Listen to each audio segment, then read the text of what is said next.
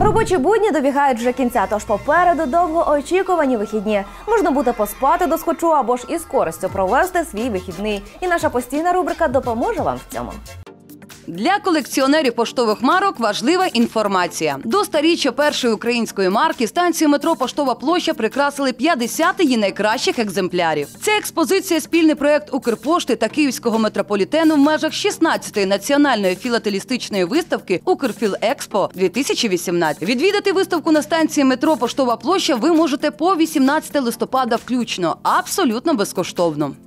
Ім'я Петра Сметани вже добре відоме поціновувачам сучасного мистецтва та мистецтвознавцям не лише в Україні, а й за кордоном. Отож, у нас для вас гарна новина. Виставка Петра Сметани Дія третя проходитиме в музеї історії Києва по 12 листопада. Проект включає в себе роботи, виконані здебільшого за останні три роки. Деякі ще не експоновані. Частина робіт була презентована у галереях Кракова, Варшави, Києва і Львова. Роботи є складовими тривалих мистецьких проєктів і в такій сукупності представляються вперше. Ця виставка проходитиме з метою презентації мистецького доробку за нетривалий, проте інтенсивний період.